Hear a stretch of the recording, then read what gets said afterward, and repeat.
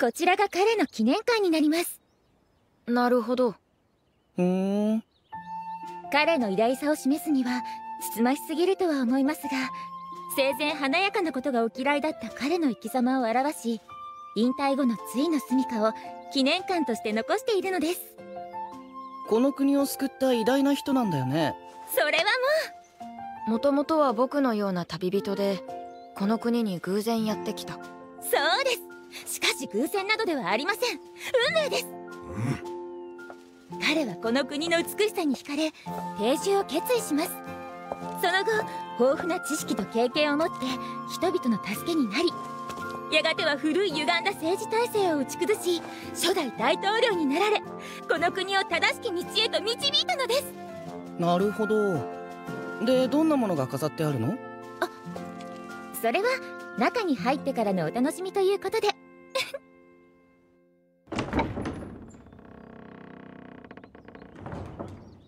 どうぞごゆっくりご見学ください。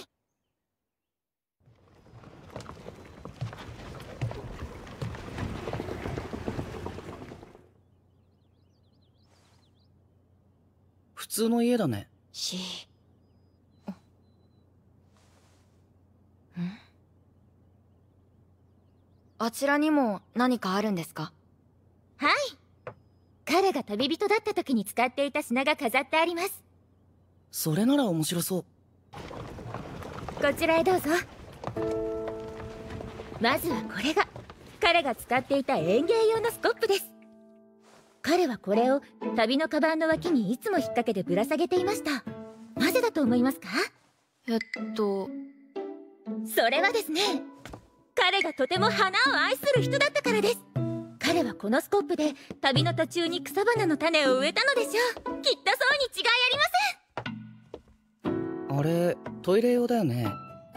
台をするときに穴を掘るための。言わなくていいよ。彫刻入りの素晴らしいナイフでしょ？昨日あのナイフ以前どこかの国でお土産として安く売っていたザ・幸運ナイフだね。ああ。本当に使ってた人いたんだ。実は効果があるのかも。何か？いえいえ大変面白いお話ですそうでしょ？どれも彼の偉大さ慈悲深さ溢れる知恵を示す素晴らしいものばかりです。そしてこれが彼の愛用したヘルメットです。ヘルメット？これ乗り物用ですよね。その通りです。じゃあ。そうです。奥の部屋に彼が乗っていたモトラドがあります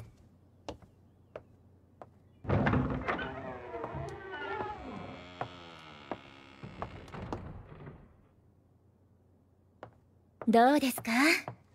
彼はこのモトラドで旅をしていました。ちょうどキノさんのように。なるほど。僕も別のモトラドを見るのは実は初めてなんです。それはそれは。彼はこの国に住んでからも毎日これで移動していました。彼の死後議会はこの貴重なモトラドを永久に保存すると全会一致で決めました最高のメカニックに整備させいつでも走れるコンディションを保っています。このモトラドはいつまでもこの場所で彼の偉業の証として存在し続けるでしょう。このモトラドは喋りますか？エルメスみたいに。ええ。昔はよく喋っていたそうです。しかし彼が亡くなった後やはり寂しいのでしょうか。誰とも口を聞かなくなってしまいましたそうですか。ねえ。案内のお姉さんちょっと外してもらえると嬉しい。ひょっとしたら何か言うかもよ。それは楽しみですね。何か喋りましたらぜひ教えてください。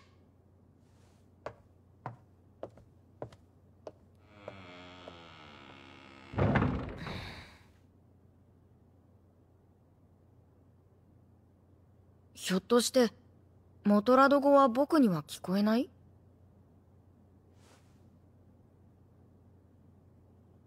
いいね。いいでしょ。いいね。君は毎日走れるのか？いいでしょ。う昨日は大抵毎日走るね。ここは地獄だよ。だろうね。モトラドは走るために生まれた走るために存在する。飾られるためじゃない。地獄だね。ねえ人間さん。ここから連れ出してくれ。そして乗って。走って。それはできないよ。ならせめて。君の手でボロボロになるまで叩き壊してくれ。それもできない。僕はこの国の人に憎まれ次に僕がボロボロになるまで叩かれるから。そうなるとこっちも困るね。昨日は明日の夕方までには出国する予定なんだ。そうか。そうか。そうかそうか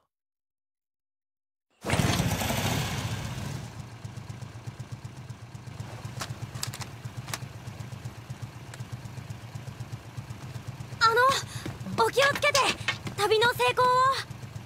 ありがとう。えっと旅人さんはどうやって旅を始めたんですか？きっかけはかなり乱暴だったけど今になって思うと誰からも命令されなかったのにそれをやりたいと思えるからかな。どうやったら僕も同じ旅人になれますか？旅人さんと同じ方法でなれますか？お父さんやお母さんはバカな夢だって言うんです。お前はこの宿を継ぐんだって。でも僕は外に出てみたい。旅人になりたいんです。わかりません。でも方法は一つじゃないよ。記念館に初代大統領のモトラドがあるでしょそのモトラドに同じ質問をしてみるといいですよ。ひょっとしたら答えをくれるかもしれない。話ができるの？試しにやってみたら。わかった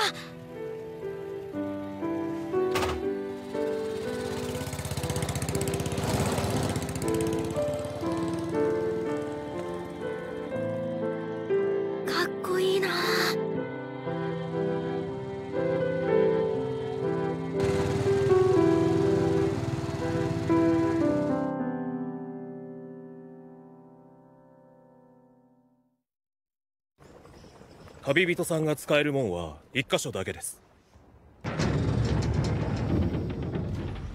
出国の際はこちらまで来てください。はい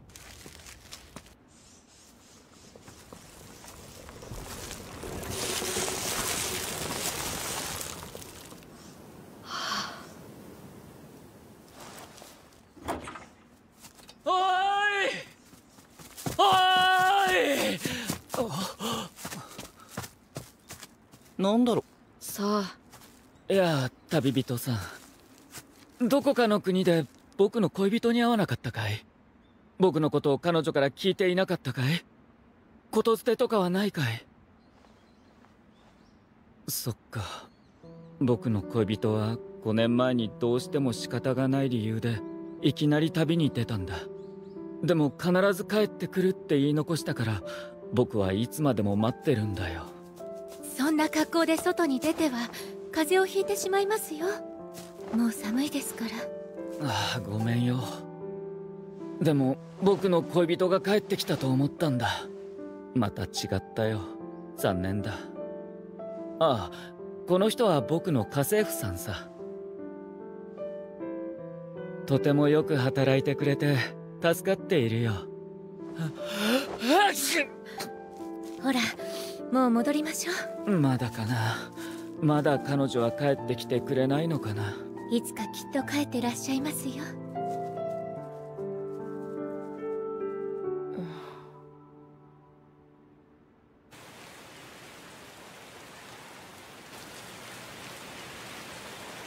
変わった国もあるのね。ああ初めて聞いたよ。キャタピラで移動する国なんてうちにはあまり旅人さんが来ないからな。そうなんですか。旅人さん何か聞きたいことはありますか？縄文脇の森で男の人に会ったけれど彼はどうしたの？彼はその本当にかわいそうな人なんだよ。彼のことは俺から話そうと思う。ああそれがいいこんにちは旅人さん。こんにちは。こんにちは。俺は10年以上前から彼の友人だったんだ。今は政府で働いてる。この国は5年前に革命が起きた。前は横暴な王様が治めていてね。当時あいつも俺も警察官だったんだ。あいつは革命の主要メンバーで宮殿に突入して王居を抹殺する実行部隊のリーダーになった俺はその下についた。あいつには恋人がいた。国外れに住む農家の娘さんで町に野菜を売りに来て知り合ったんだ。革命の1年前だった。娘さんは長い髪をした美しい人だったよ。とても仲が良くて絶対に2人は結婚するんだと思っていた。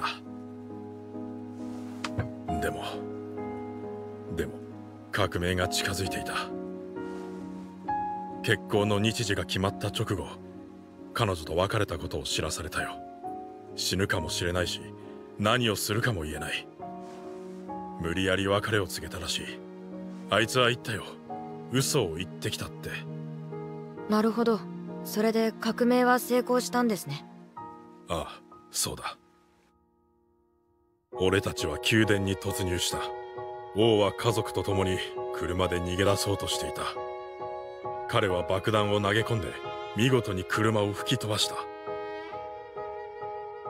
どこまでも勇敢な男だったよ。そして革命は成功した。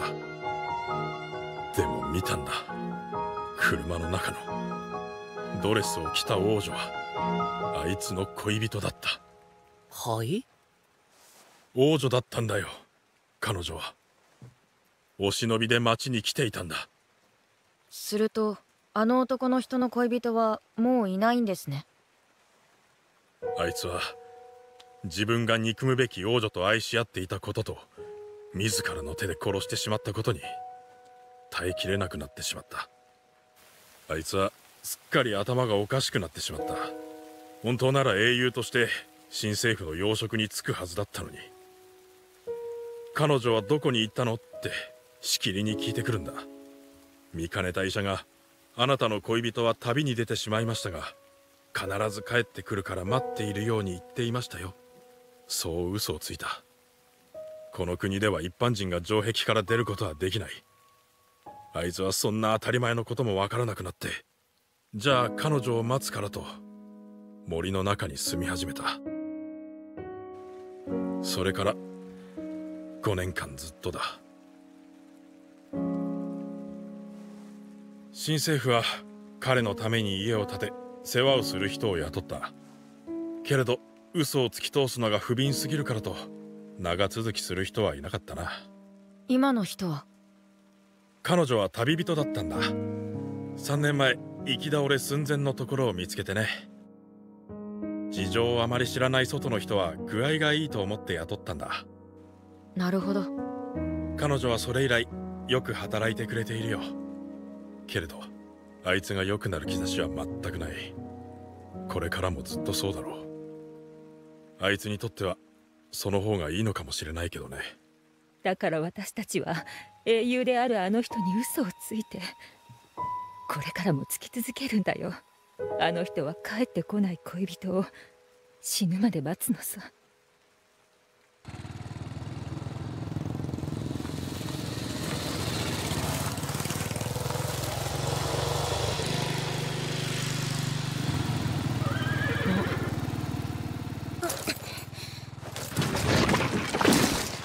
キノ出番。仕方ないな。まあいつか汚れるんだし。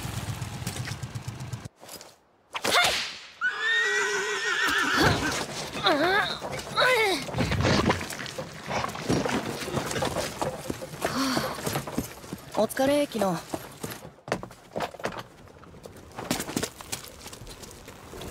本当にありがとうございました。いえ。ねえお姉さんも旅人だったんでしょ？どうしてそれを？昨日町の人が教えてくれたんだ。そうですか。では僕たちはこれで。じゃあね。あ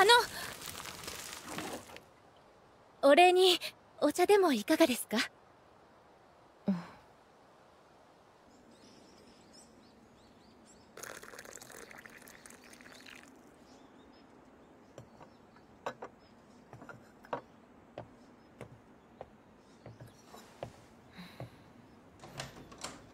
面白い香りです。なんていうお茶ですか？よくわからないけれど美味しいお茶だよ。美味しいよ。美味しいですね。ねえ旅人さんこれからもいろんなところに行くんだよね。もし彼女に出会ったら。ええあなたのことを伝えますよ。待ってるって。頼んだよ。あらまた誰か縄文にいらしたのかしら。エンジンの音が聞こえた気がします。彼女かもしれない。行ってくる。上着着てください。大丈夫。これでよかったの？エンジンの音なんて全然聞こえなかったけれど。ええ。あの人といると木野さんたちとのんびりお話ができませんから。これでしばらくは戻ってこないでしょうこれでいいんです。私の兄弟も隣の国へ無事に逃げてのんびりと幸せに暮らしています。そして私は愛するあの人のそばで生きていくことができます。あなたは元この国の王女様ですか？なるほど。確かにいいや。続きをどうぞ私はこの国の王女として生まれました。スパイからの報告で革命が迫ったと知り私はあの人に接触しました。信頼できる情報を父に届け革命の前に財産を持って逃げるためでした。ふむふむ。でも私は私を一人の田舎娘として愛してくれたあの人をいつしか愛するようになりました。しかしそれは終わりましたあの人が私に決定的な情報をもたらして。理由を言わずに別れたことですね。すぐに革命が起こると知った。ええ。身代わりが役目を果たしてくれて全てが計画通りに行きました。あの人のことは無理やり忘れようとしました。でもあなたは戻ってきた。隣国で私はスパイからいくつかのことを知りましたあの人は私を殺してしまい病んでしまったこと。そしてあの人の世話をする人が必要とされていること。私は長い間悩んでこの答えを出しました。なるほどね。でもとても苦労しましたよ。両親を説得したり旅人になってみたり。国に入ってから家政婦として雇われるように仕向けてもらったりね再会した時にあの人は何と？こう言ってくれました。あ彼女が帰ってくるまでよろしくって。とても嬉しかったです。そう？ええ。私はまだあの人を愛していてあの人は私を待っていてくれる。そしてそばにいられるんですから。私はあの人と知り合った時から嘘をついてきました私はこれからも嘘をつきながら愛する人のすぐそばで生きていくのでしょう。私は幸せです。お話ありがとうございます。うんどうもね。はあ違ったよ。門番が発電機を動かしただけだって言ってた。誰か来たんじゃなかった。そうでしたかいつだろう。いつになったら彼女は帰ってくるのだろいつかは分かりませんがきっと帰ってらっしゃいますよ。う僕は怖いんだ。ひょっとしたら僕は彼女から忘れられていないかい？いいえ。あなたは忘れられてなんかいませんよ。決して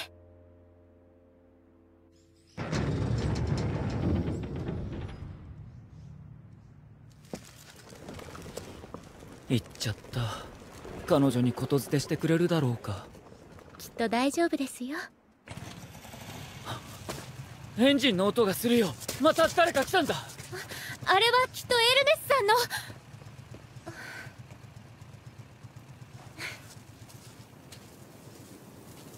さあお昼は何にしましょう？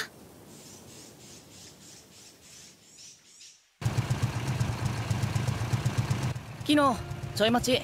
後ろ。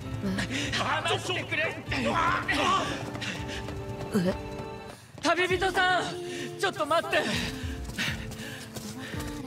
言いたいことがあるんだ。恋人さんへのメッセージですか？いやキノさんとエルメスさんには最後にもう一つだけ知っておいてもらいたい。これでいいんだ。私は幸せだ私はもう何も壊したくはない。王家のスパイだった友人の生き方も何も知らない優しい人たちの思いも革命の成功と新しい国のシステムも。そして私を利用しただけではなかった愛する人との生活も。今は何も壊すことはない。これでいいんだ。あなたは嘘つきだね。ここの国の人はみんな嘘つきだ。さよならだね。私は戻る。さようなら。お二人ともお元気で。じゃあね英雄さん。家政婦さんによろしく。行こうか。そうだね